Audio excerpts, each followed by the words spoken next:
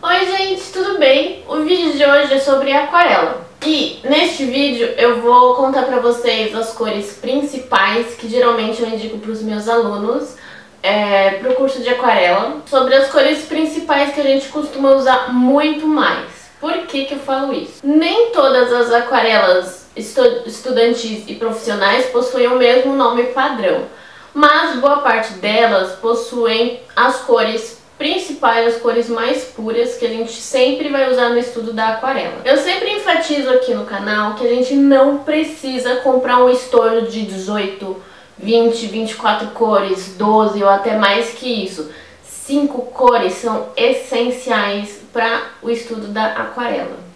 Se você comprar um estojo com mais de 20 cores, mais de 12 cores, você só vai estar tá incentivando que o marketing prega pra gente nessa sociedade capitalista. Que é o que a gente quer, é sempre ter um estojo grande, cheio de cores, porque a gente está acostumado a ter quantidade e não qualidade. Então todo mundo vai querer um estojo de 80 cores, só que ninguém usa 80 cores. Geralmente, dependendo do artista e da linguagem que o artista usa, a gente usa no máximo, sei lá, umas 10 cores ou até menos, dependendo de cada artista, porque cada um tem uma linguagem. Cada um costuma usar um tipo de cor muito específica e aí disso ele faz várias misturas com outras cores que você tem na sua paleta. E isso tem muito a ver com teoria das cores. Então, um estojo grande, ainda mais para quem está começando na aquarela, você vai gastar dinheiro à toa. E muitas vezes você nem usa todas as cores, porque um aluno que está começando no estudo da aquarela não tem ainda noção de teoria das cores e de como que você pode misturar as cores para chegar numa cor um pouco mais real. Dentro de uma pintura. Existe um vídeo aqui no canal sobre teoria das cores que eu vou deixar aí em cima, que vocês vão entender um pouco melhor sobre como a gente usa as cores dentro da aquarela, que a gente utiliza transparência, ou seja, a gente não usa branco, a gente usa água pura e a gente também não usa preto, que é uma cor sintética, que não deixa a mistura harmoniosa. Isso eu vou explicar mais pra frente. Por isso vai compensar muito mais pra você, pessoa que tá estudando aquarela e é iniciante, personalizar o seu estojo. Já existe um vídeo aqui no canal sobre personalizar, mas eu vou especificar mais ainda hoje sobre em questão das cores. E é muito mais fácil, muito melhor em relação ao custo-benefício, tanto se você escolher uma aquarela de qualidade que vai render por anos, não vai acabar nunca, porque geralmente quando você compra de bisnaga rende muito mais. Geralmente de pastilha rende, mas não tanto quanto de bisnaga. Bisnaga, às vezes, aqui no Brasil pelo menos, a gente encontra bisnaga de 8 a 10 ml. E as pastilhas geralmente tem umas 3 gramas. Então depende muito, é relativo do que você quer estudar, se você quer começar por pastilha ou por bisnaga, mas as duas servem. E aí você criando um estojo personalizável compensa muito mais se você fosse comprar um estojo de 24 cores. Num começo de estudo a gente nunca vai usar 24 cores e essas cores vão ficar paradas lá e você podia ter gasto esse dinheiro com qualquer outro material de aquarela que você sabe que você vai usar pro resto da sua vida até ele estragar ou até ele acabar. Eu vou repassar pra vocês uma lista com o nome de cada cor. Porque assim, por que eu falo isso? As cores têm um nome padrão, mas dependendo do fabricante, o nome muda um pouco. E aí a gente tem que olhar no catálogo, que eu vou mostrar pra vocês esse catálogo aqui. No site de cada marca existe esse catálogo em PDF, então eu vou mostrar pra vocês aqui junto com vocês nesse vídeo porque, sei lá, se você quer uma cor, eu vou chutar, você quer um vermelho, só que é um tom de vermelho muito específico. Na marca 1, ele tem o nome X, e na marca 2 ele tem o nome Y. E aí muita gente fica perdida. Só que assim, às vezes tem vários tons que são várias misturas de tintas. Isso faz com que ele perca, entre aspas, a qualidade. E as cores que eu vou repassar para vocês aqui, elas são cores puras. Ou seja, ela tem uma qualidade muito boa e ela não sendo misturada com outra tinta, ela tende a ser mais transparente. E isso facilita muito para vocês nos estudos. Então eu vou acompanhar com vocês, mostrar o PDF no computador e explicar algumas outras coisinhas a mais que também tem influência com isso, tudo bem? Geralmente muitos de vocês vêm me perguntar como é que eu sei quando uma tinta é escolar, estudante ou profissional. Eu vou explicar um pouquinho mais sobre isso no próximo vídeo dessa saga de aquarela que eu estou fazendo. Mas eu explico bem nessa questão técnica e bem mais aprofundada no meu curso de aquarela online que eu vou lançar em breve. Caso você queira receber mais informações, aqui embaixo do vídeo, no box de informações, tem o link do formulário para você deixar o seu e-mail caso você queira participar do curso ou saber mais informações sobre ele. E não se esqueça também de entrar no nosso grupo secreto do Facebook, que o link também tá aqui embaixo, tá bom? Antes que eu esqueça, curta esse vídeo, compartilha para todo mundo que você sabe que gosta de aquarela, se inscreve nesse canal para eu saber que você gosta desse assunto e para eu saber que vocês querem muito mais vídeos sobre isso. E me segue nas redes sociais que tá aqui embaixo que eu deixo lá nos comentários os links mais fáceis para você acessar e me seguir lá. Enfim, presta atenção que eu vou contar uma história para vocês de todo esse rolê que eu vou explicar hoje.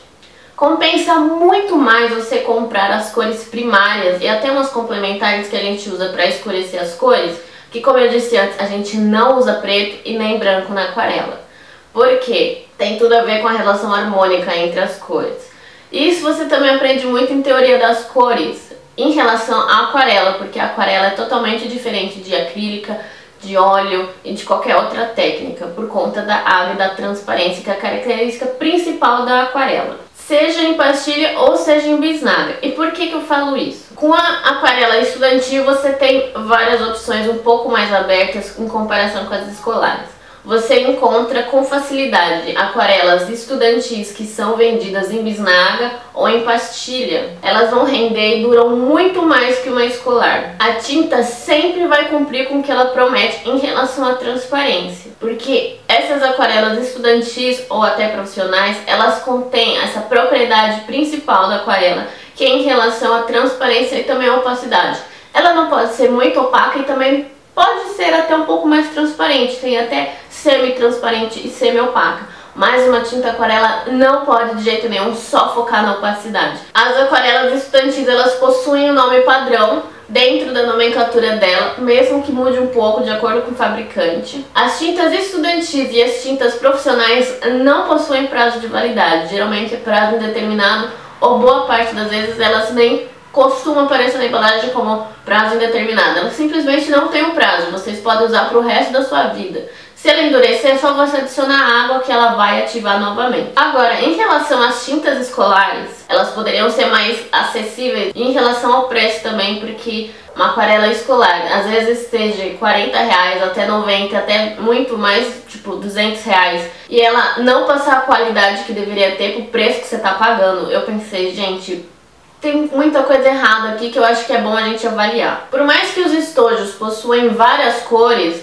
o preço que você paga não é equivalente à qualidade que ela fala que tem. Só que muitas vezes o preço que você paga não compensa, porque muitas aquarelas escolares falam que são profissionais, que são para uso para artistas e não sei o que, só que você paga 80 reais até 200 conto e ela não reage como uma aquarela deveria reagir. Muitas das vezes essas aquarelas são totalmente opacas. Aquarelas escolares não possuem a mesma propriedade de uma aquarela estudantil ou profissional. Em contato com a luz, ela começa a desbotar muito mais rápido. Muitas vezes das aquarelas escolares são neon e vai perdendo totalmente o brilho e a vibrância dessa, dessa da qualidade da tinta dessas cores. Por mais que as escolares possuem um estojo com várias cores, o preço que você paga não compensa e não condiz com a qualidade que elas dizem que tem, que é uma mentira. Ou seja, as aquarelas escolares nunca cumprem o que prometem. Geralmente você gasta muito mais aquarela para conseguir criar uma camada transparente, só que boa parte das vezes elas ficam opacas, e muito mais parte das outras vezes. Quando você vai fazer uma, uma camada sobre a outra, a camada de baixo, a tinta simplesmente sai. Isso vai fazer com que você gaste muito mais material do que você deveria. E aí você também tá, né, o preço da aquarela escolar que você pagou não tem a qualidade que deveria, fazendo então com que elas durem menos e que rendam menos. As aquarelas escolares não vendem em unidades, ou seja, você não encontra no mercado para comprar aquarelas escolares é, de forma unitária, tanto bisnaga quanto pastilha. É sempre em kit, para isso, para eles, para as marcas, geralmente compensam muito mais você comprar aquarelas escolares, que é para criança, e em kit que compensa muito mais. Ou seja, por que, uma aquarela escolar, com o próprio nome já diz, é para criança? As crianças que estão aprendendo agora na escola o que é teoria das cores, o que é cor, habilidade motora, a habilidade de entender o que, que são as cores, como é que chegam em outras cores, É para isso que as aquarelas escolares servem, e não para estudar a aquarela, a técnica de aquarela em si, com todas as propriedades que uma aquarela tem. As aquarelas escolares possuem data de validade, ou seja, Aquarelas que são feitas para crianças precisam ter prazo de validade para você saber que tipo de material você vai deixar na mão de seus, de seus filhos, de seus sobrinhos, de suas crianças, né? E ou seja, elas também possuindo prazo de validade mostra com que elas estragam um pouco mais rápido em comparação com as aquarelas estudantis. As aquarelas escolares muitas vezes não têm o nome padrão, que a paleta de cores tradicional que a gente costuma estudar na aquarela tem. Boa parte, muitas aquarelas nem citam o nome dessas cores no estojo, na embalagem delas, ou se citam, tem umas cores muito nada a ver que você fala que cor que é essa. Para quem está estudando aquarela já faz um tempo, a parte mais técnica, né, em relação às propriedades, etc., existem muitas cores famosas que existem até hoje que a gente usa para fazer os nossos estudos que não existem nessas nesses estojos de aquarela escolar. Não adianta nada você comprar uma aquarela de 80, uma aquarela escolar, que custe de 50 a 80 reais ou até mesmo até uns 200 reais, que é o caso da Sakura Koi, se você não tem a qualidade que você precisa para você poder trabalhar em várias camadas, como eu disse, essa é a característica principal de uma aquarela. Não adianta nada você pagar esse preço para que essa tinta acabe muito mais rápido, não tem as propriedades técnicas, as propriedades principais de uma aquarela. Se você não vai conseguir realizar um estudo sério e um estudo direito, um estudo direto sobre a aquarela, para você conseguir fazer manchas mais espontâneas, brincar com transparência e opacidade ao mesmo tempo, porque sim, é possível fazer isso com aquarelas estudantis e profissionais. E por mais que você faça várias camadas, as aquarelas escolares tendem a secar e ficarem opacas. A característica de uma tinta opaca, neste caso, vai mais para uma guache e não para uma aquarela. Então, resumidamente, tudo isso que eu estou falando seria mais ou menos a mesma coisa que você pegar o seu dinheiro e jogar no lixo. Porque o que, que adianta você comprar um material que não reproduz literalmente as suas expectativas e o que uma tinta aquarela verdadeira deveria fazer. A gente tem mania, por conta também do capitalismo, que, que a sociedade sempre influencia a gente, que é sempre bom ter, ter, ter mais coisas em relação pela quantidade e não pela qualidade. Então, de que adianta você ter um estojo de 40 cores se não tem qualidade nenhuma? Entende? Então, por isso que eu falo, estudantes de aquarela que estão iniciando esse estudo, vocês precisam ter no máximo só 5 cores e não 40, 80, 24, 12, 15, entende? E se você tiver uma aquarela de qualidade que dure para sempre, que tenha todas essas características e propriedades que você vai conseguir reproduzir dentro dos fundamentos da aquarela, você vai conseguir estudar sem se frustrar e vai conseguir reproduzir até mesmo várias camadas sobrepostas sempre brincando com a transparência. Por exemplo, eu fui dar uma olhada nos preços das aquarelas numa loja online aqui de São Paulo, que geralmente tem uns preços razoáveis, que é na papelaria universitário, e a gente está em 2019. Só para ter uma base, se você futuramente estiver vendo esse vídeo e a gente já não está mais em 2019, provavelmente o preço das aquarelas vai mudar, porque todo ano sempre vai ter um reajuste, vai ter taxa em cima dos produtos, porque boa parte das aquarelas não são aqui do Brasil, tanto a Pentel, que tem um nome meio que a gente acha que é brasileiro, mas não é. Ela é de Taiwan, a Koinor é tcheca e a Sakura Koi é japonesa. Então, boa parte das aquarelas escolares não são do Brasil. E também como as aquarelas estudantis e profissionais também não são no Brasil, exceto a Pestilento, que ela é profissional e ela é nacional aqui do Brasil. Mas enfim, eu dei uma olhada no preço das aquarelas para poder entender essa relação de custo-benefício e não faz muito sentido para quem está adquirindo essas aquarelas e quer estudar aquarela, só que vai pagar um preço que você literalmente poderia estar usando numa aquarela estudantil. Ou seja, a aquarela estudantil ela é um pouco mais acessível em relação ao profissional. Se você está começando a estudar aquarela, agora você não precisa comprar uma aquarela profissional. Vai para estudantil que é ó maravilhoso e vai te ajudar bastante em relação aos seus estudos. Então beleza, olha, eu olhei lá na papelaria universitária, a Pentel de 24 cores custa 80 conto. De 24 cores, das outras cores vão ser um pouquinho mais baratas, mas começa a partir de 30 reais, 40 e assim vai. Um estojo da Koinor de 24 cores, daquela edição brilhante que eles falam, que é aquele de disquinho, custa 85 conto. E um estojo da Sakura Code 24 cores custa 200. Isso na mesma loja de papelaria universitária.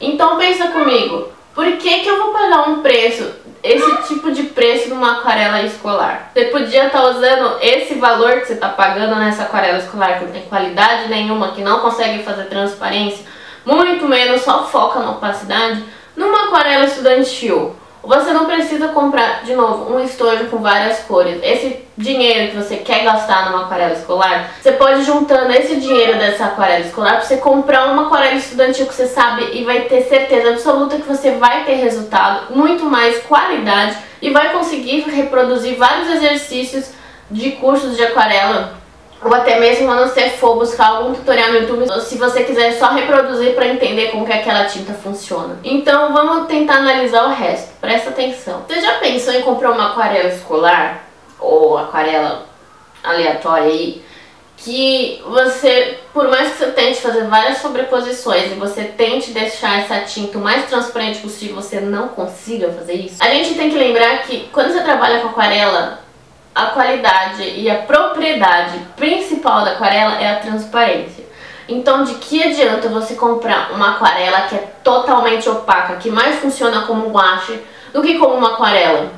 Você vai estar ali jogando literalmente seu dinheiro no lixo. Você não vai conseguir estudar aquarela sem se frustrar e sem ter sua, seu tempo mais proveitoso. Você vai jogar tempo fora e dinheiro no lixo. Por isso que eu sempre falo, você que está estudando aquarela e está iniciando nesse processo, você não precisa de 12, 15, 18, 20, 24, 40, 80 cores. Você só precisa de 5. E o melhor, se você for comprar uma aquarela estudantil, seja de bisnaga ou de pastilha, você vai estar tá conseguindo, você está investindo o seu dinheiro numa aquarela de qualidade que funciona, que vai te trazer camadas transparentes e fazer várias sobreposições como também tem a vantagem, se você comprar uma bisnaga, por exemplo, ela vai durar muito mais que uma pastilha, porque as bisnagas, geralmente aqui no Brasil, elas possuem de 8 a 10 ml. E isso dura demais se você for sempre recarregar naquele pan, né, naquele quadradinho branco que tem dentro das pastilhas. Geralmente a bisnaga dá um terço dentro desse potinho. Elas vão render por anos, elas trazem o resultado esperado. Você consegue fazer o estudo de aquarela em várias camadas transparentes, que é o essencial. Você consegue fazer o estudo com várias camadas, em vários estudos, em várias amostras, em vários testes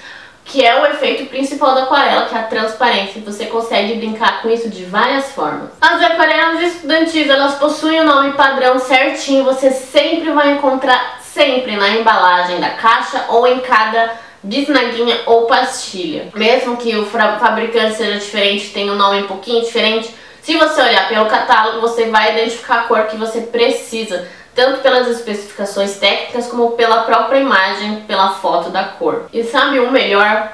Todas essas cores que eu vou repassar para vocês, elas são puras, ou seja, quanto mais pura uma cor, mais transparente ela vai ser. E quanto mais transparente, mais camadas você consegue fazer, mais coisas você consegue trabalhar com aquarela, ela não fica algo limitador. E a cor sendo pura, ela é a cor mais fiel, mais verdadeira possível do nome que tá lá. E isso faz com que ela seja mais vibrante e mais gostosa de se trabalhar, facilitando muito mais o seu estudo, que você não quer passar nervoso, estresse e perder tempo durante seu estudo, certo? As marcas estudantis que a gente encontra aqui no Brasil são apenas quatro, que elas são mais acessíveis e as que eu sempre costumo indicar para meus alunos são a Van Gogh, a Kotman, a Pebel e a Lucas Studio. A característica, a qualidade da Lucas Studio é tanta, é tanta, tanta, tanta em comparação às outras três que eu mencionei, que ela pode até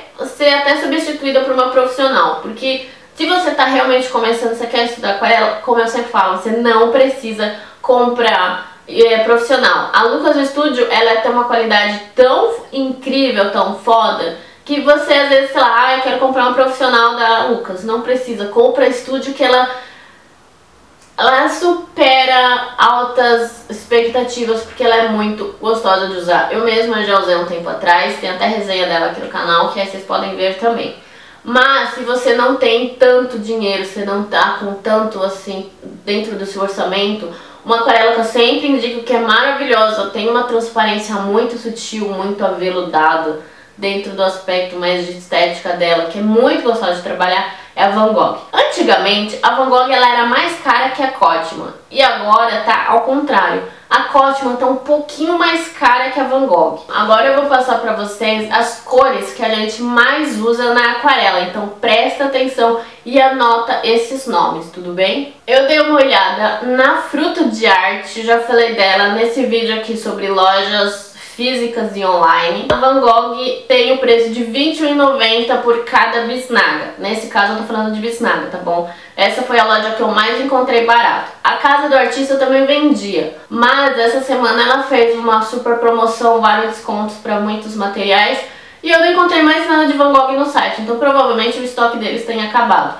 Mas é bom você ficar de olho que a casa do artista também vende aquarelas, geralmente estão botando direto desconto pelo site e o que fica muito mais barato. E aí se você for de São Paulo, você pode comprar na internet e depois buscar na loja física, ou se você não é de São Paulo, você pode comprar na casa do artista, que eu acho que vai ficar muito mais em conta por conta exatamente desses descontos, tudo bem? A Cotman, ela é uma bisnaga de 8 ml, e na papelaria universitária o preço mais em conta que eu achei é R$23,90. A Lucas Studio, eles só vendem no site oficial. Antigamente eles vendiam no Fruto da Arte, mas não tá mais lá tá somente mesmo no site oficial deles, que é o lucasbrasil.com.br. E aí, cada cor deles custa 45 reais. Já a Pebeu, ela é R$19,90 na papelaria universitária. Mas lembrando que ela é só pastilha, e a pastilha geralmente tem 3 gramas, e é um pouco menos em comparação com a bisnaga, tá? Agora eu vou mostrar para vocês os catálogos que em cada site das marcas principais. Sempre que vocês tiverem qualquer dúvida sobre a tinta,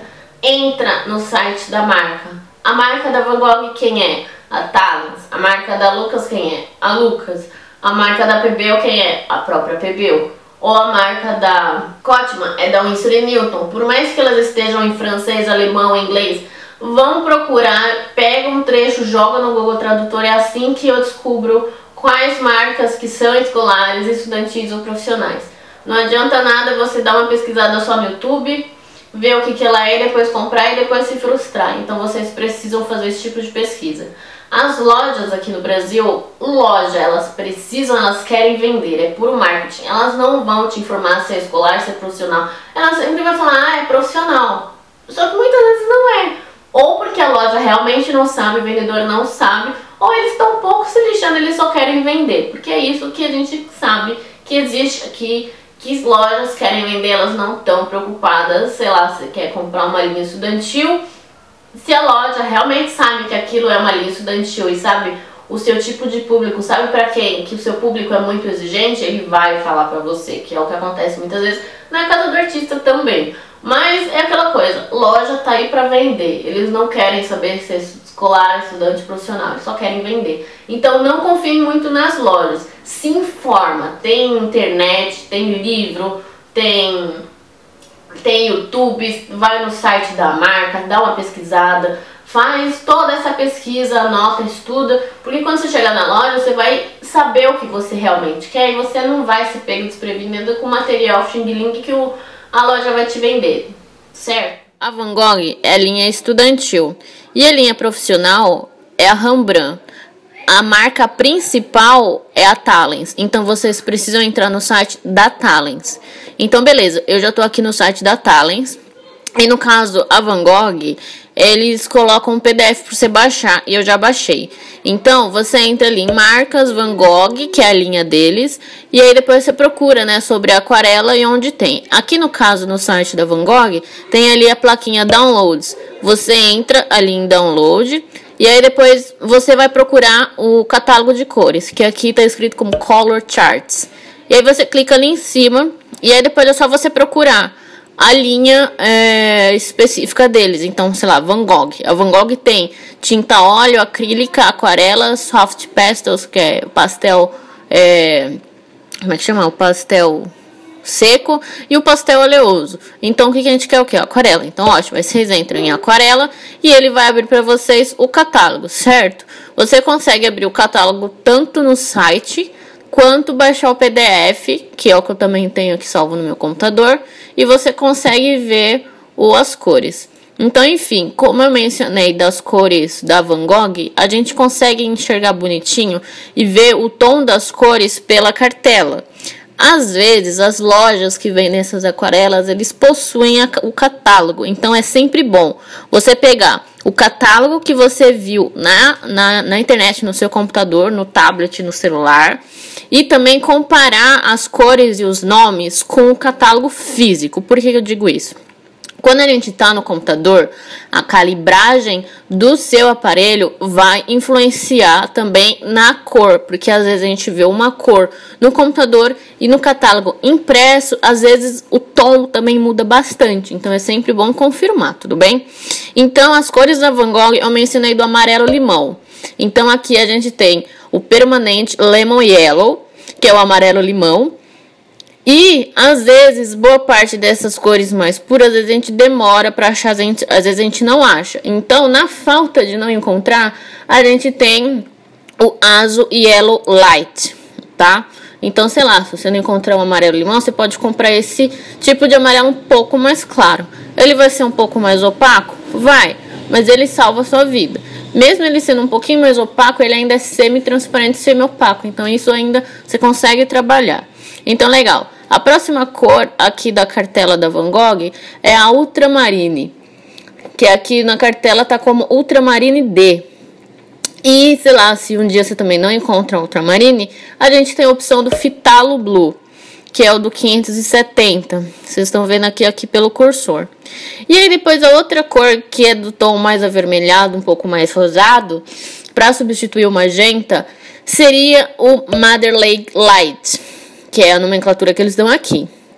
E assim, é, existe também a, o magenta dentro das cartelas. Não são todas as marcas que tem, mas geralmente o magenta costuma acabar muito mais rápido. Então, a gente substitui por esse Mother Lake L, que é o que mais se encaixa próximo da cor a magenta, rosada, avermelhada que a gente precisa, certo? Depois a gente vai pelo Burnt Amber, que é aquele que tem cor de brigadeiro, que eu mencionei para vocês tá aqui. E depois a gente vai pro Paynes Gray, que é o cinza azulado, que também está aqui, tudo bem? Essas são as cores da Van Gogh, da cartela do, do catálogo deles, tudo bem? Aí a próxima cor é a Cotma. A Cotma não tem PDF para você baixar, mas você entra no site da Winsor e Newton, você encontra o catálogo no próprio site deles. Então você entra aqui na Winsor e Newton, você joga lá no Google. É, Cotman ou Winsor Newton Watercolor, que você vai achar mais fácil, porque a marca é gringa, certo? E aí você só desce aqui para baixo e você vai encontrar facinho o catálogo das cores. E aí a gente vai por quê? O Alizarin Crimson, cadê aqui? Aqui em cima, perto do Permanent Rose. O Alizarin Crimson é um tom que a gente usa muito, que não chega a ficar roxo nem vermelho. É um tom meio termo, então você usa isso em todos os lugares possíveis, tá? E é uma cor que é muito mais fácil de ser encontrada. Aqui na Winsor Newton eles não passam numeração da cor, então só fica com o nome mesmo. Aí depois, de novo, Ultramarine, que é aqui do lado de Oxazino Violet. Ou, sei lá, se você não encontrar Ultramarine, a gente também pode usar o Intense Blue, que é o famoso Fitalo Blue, que é a cor azul que a gente mais usa. E aí, novamente, o Lemon Yellow, que é o amarelo limão. Uh, e depois, de novo, Burnt Amber, que é o nosso chocolate. E depois o Paynes Grey, que é o nosso cinza azulado. São aquelas cores complementares que eu mencionei que a gente usa também para escurecer. Eles têm site próprio. O catálogo deles vocês só vão encontrar no blog deles, tá? Eu tenho o catálogo, só que é da linha profissional. Quando eu comprei o estojo da linha estudante e das bisnagas profissional, ver eles me entregaram o catálogo da profissional, que é essa daqui que eu já abri, esse catálogo aqui. Esse catálogo aqui é da linha profissional, que é o Acorrel 1862, tá? Então, vocês têm que dar sempre olhar se o catálogo que vocês estão abrindo é de linha estudantil ou profissional, tem que prestar atenção nas nomenclaturas também.